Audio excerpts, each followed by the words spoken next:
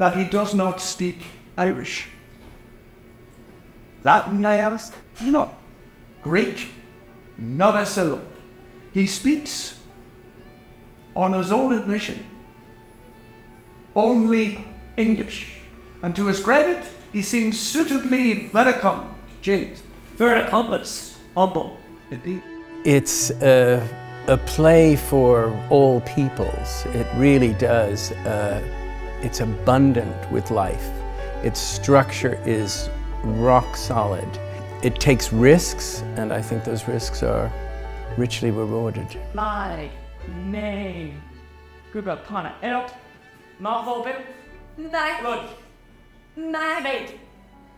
nej, nej. That's. Friel presents and holds within it many complex, seemingly contradictory ideas and views of a, of a situation and is able to treat all of that with empathy and humanity and let them all coexist in one container. Does he know what I'm saying? Not a word. Ten minutes No, then what? about the dance. Uh, Midas says that in your dance. Yes? May I come? Would anybody object if I came?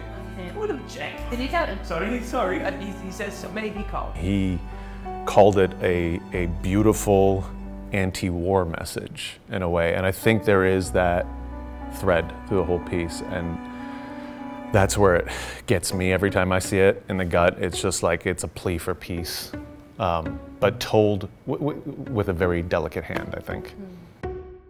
No, I, I think it's to do with um, Friel's.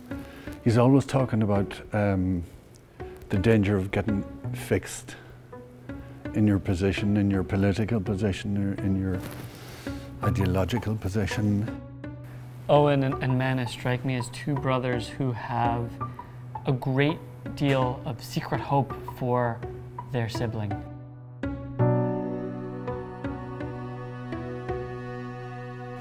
the, the character of George in the play sort of talks about, you know, that the private core will always be hermetic if you're an outsider to the language. And, and so coming, you know, from the outside, it's daunting, but it's also just so beautiful.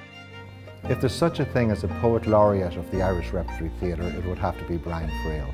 We've, uh, we have done so many of his plays.